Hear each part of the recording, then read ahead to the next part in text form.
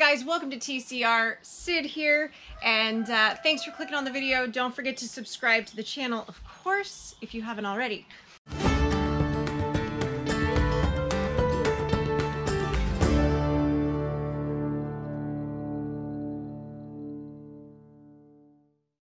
So, the garlic. We harvested the garlic a couple weeks ago and Mike's been uh, laying it out to dry and he's got some of it already braided and hanging for uh, so it can cure.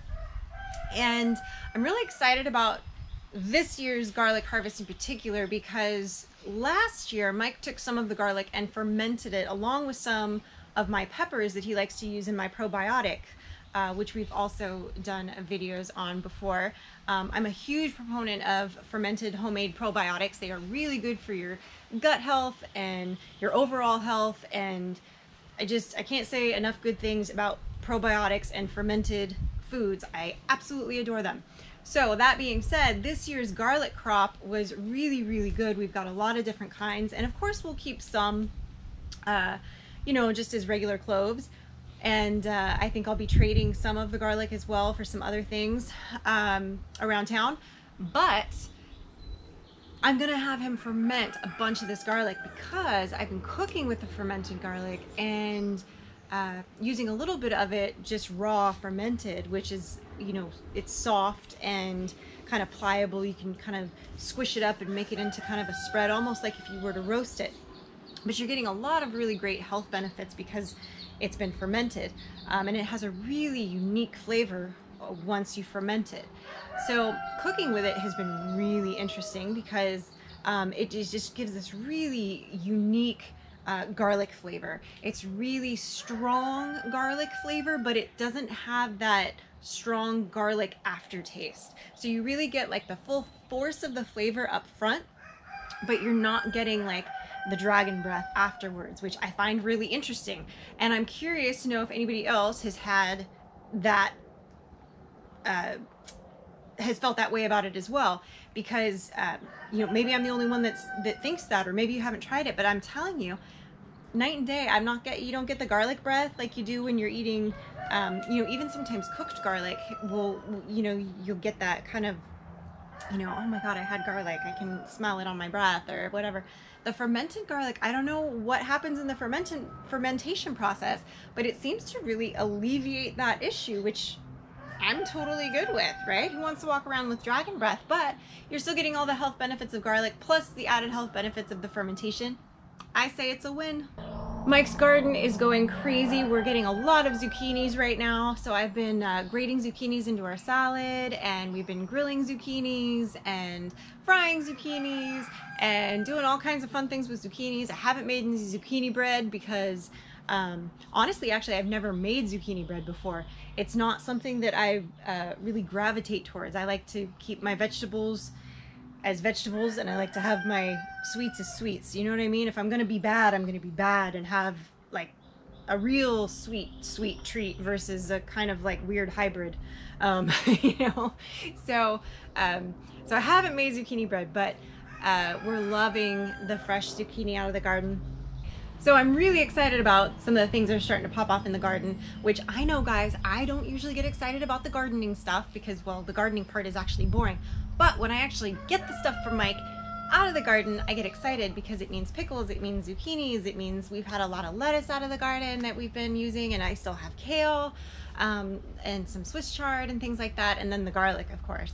So super excited to have that stuff to be able to work with and cook with um, in the kitchen. It makes me super happy to be able to provide that for the family and and have healthy healthy things like that um, because you know especially you know during quarantine a lot of people are like you know eating fast food or getting things to go and you know um, i'm happy to say that we have i think we ate out twice maybe three times that we got some form of takeout and only one of those times was it like genuine junk food um, but you know that's okay but uh, you know we try to eat healthy and and try to make sure that bugs they love me. They love me so much. Anyway, try to make sure that and that, that we have healthy stuff and and that we're uh, providing that for Frankie. So with the garden in full swing right now, I've got grapes that are forming on our grapevines. Those will be ready in like the beginning of August, end of July. Um, I did pick a few peaches that were ready off the tree um, that we had checked on last week. And there's some that are almost ready that are lower and I need to get a bigger ladder because I think there's some that are up really high that I can see but I can't get to. Um, so I need to get like the big, I need like a cherry picker to, to get the peaches. Who would have thunk it? Um, but that's what I need. Um, so we've got a few projects that we're working on this weekend. We're going to be um, hopefully putting in some more fence post holes along the back end of the pool and finishing the one facade of the playhouse that has been long the bane of my existence. So I'm hoping to get that finished up and done and completed so that uh, by the time we have Frankie's much belated 10th birthday party uh, in a couple weeks, at least that will be done. Um, things are starting to get a little bit more normal now. More businesses are opening up. People are having get-togethers now.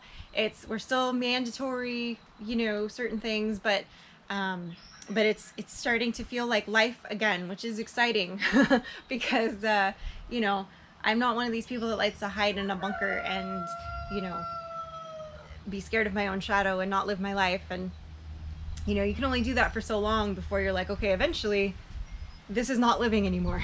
you know, it's like you gotta, you gotta make a trade off at some point.